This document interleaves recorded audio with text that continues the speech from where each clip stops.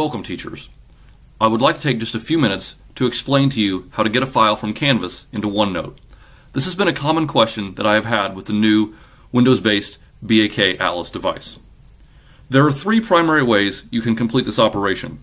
I'm going to show you all three, but in reality, probably only the first two will be of use to you. The third one will be of use only in very limited situations, but I will include the instructions. You can see that I have OneNote open and I have a different page for each of the options. So I will be toggling between these pages to show you the various options and you can see over here in Chrome I have a example Canvas course listed with some examples assignments. So let's say that you have this example PDF that you want students to open in OneNote. You can obviously see that I am in student view within Canvas. So I'm going to click on that example PDF and when I do that I am going to have the option to then download that file or to view that file. I'm going to click to download it. Notice it starts to download in the lower left hand corner. When it's done, I click the up arrow and I hit open. Once this PDF file opens, I have several options as I have with all PDFs, but in the upper right hand corner there's the option to print. I'm going to hit the print button. And notice where it says the destination. Mine already says send to OneNote 16. If yours does not say that, hit change and find the destination that says send to OneNote 16. This essentially acts as a printer that is going to send the printout of this PDF to OneNote. So I'm going to cancel because mine's already been selected, but if yours had not been selected, you would select that. And then you are going to hit print. And at first it looks like nothing has happened. But if you go back over to OneNote, and sometimes it will take a little bit of time for this menu to show up, but there it pops up, and it will ask you where you would like to place this file. So I have my notebook, I have the uploading a Canvas file, uploading a file from Canvas rather, and within that I have three pages. So I have printing from OneNote, so that's what I just did. So I'm going to hit OK.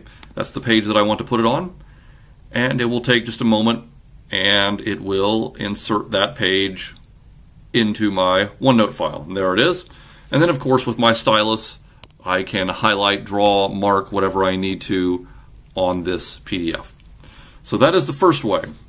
You go to Canvas, you download the file, you then print the file to OneNote, and then it will automatically pop up and ask you in OneNote where you would like to insert the file into which section, which section and which page. Okay, that's option number one, very useful option. Option number two, I'm going to close out of this and go back to my example Canvas course, and I'm going, to go back to the assignments.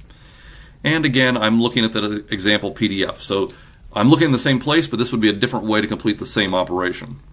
So this time, I am going to click the file, as you would have the students do in Student View, and I'm going to click the file again, and I'm going to allow the file to download, but instead of clicking there, I'm going to hop back over to OneNote. And now I'm going to choose the Insert option, and I'm going to choose File Printout. It will open the location where I need to access the file printout from.